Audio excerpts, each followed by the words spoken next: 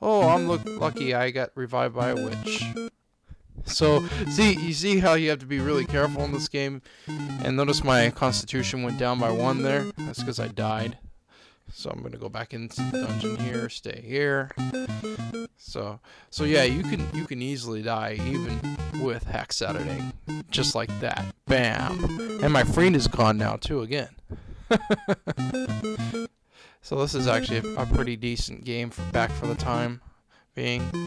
So, um, really, there's not much else to this game. You just go around, fight stuff, and see how how many levels you can gain before you die. I mean, that's pretty much the object of this game. I I I have yet to to do anything beyond that. There's like different levels of this dungeon. There's pits. Yeah, I'll let him escape.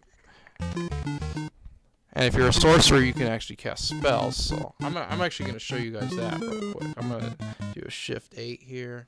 Let's create a new character. Let's use this one. Yeah, why not? I don't care. Tifa. Sorcerer. Do you want a free? Yeah, of course. Alright, so let's enter the dungeon here. What's nice about the sorcerer, see now I have uh, 50 magic points. I've got two spells that I can use outside of battle called Friend Call. You can actually get friends, or you can uh, cure your light wounds. Now, if I'm moving around here, then my magic will recover, so that way I can recover my HP. But I've only got 2 HP, so I'm pretty freaking weak. I probably should have gotten better stats, so... well, that's not a problem, huh? Because I'm a hexer. So let's go around. I'm going to see if I can fight something. Yeah, let's cast a spell. So here's all the spells we can cast. Magic Missile, Entangle. I like Entangle because you can kill them. You can one, one hit them just like that. Bam, dead. but it doesn't always work. So you have to be careful. Oh, look at that. That guy just hit me. I'm dead. Easy come, easy go. Look at that. Bam. I got resurrected.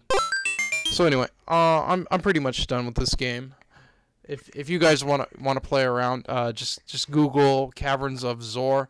It's spelled just like that, Z O A R R E. And until then, uh, this was uh, Rydia's Revenge. Hope you guys are doing well, and I will see you soon.